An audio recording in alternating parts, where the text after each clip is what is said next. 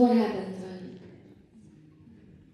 when you're in a relationship that has become I mean any kind of relationship between you and your mom you and a sandwich and it becomes terribly one-sided.